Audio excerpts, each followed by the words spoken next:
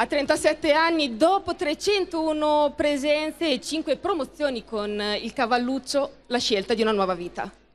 Sì, è stata una scelta condivisa con la società e che mi ha dato una nuova opportunità, un nuovo inizio di un percorso nuovo e sperando che porti dei frutti come lo è stato da, da, da giocatore. Il lockdown ti ha aiutato a riflettere? Sì, sicuramente eh, dopo uno stop del genere, insomma, e, e anche con le nuove decisioni, regole, eh, si è fatta una valutazione generale e, e si è arrivati a questa conclusione, ripeto, l'inizio di un nuovo percorso.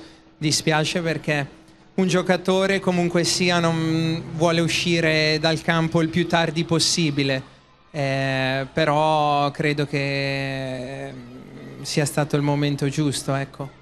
Qui di fronte a noi numerosi tifosi a dimostrare l'affetto nei tuoi confronti, cosa ti senti di dire a tutti loro? Ma li ringrazio per tutto l'affetto e la stima che mi hanno riposto in tutti questi anni che sono stati tanti anni vincenti e quindi li ringrazio per tutto quello che mi hanno dimostrato e io li ho ringraziato li ho ringraziati con le prestazioni in campo e con le numerose vittorie con questa maglia e sono orgoglioso di aver vestito questa maglia per tanti anni.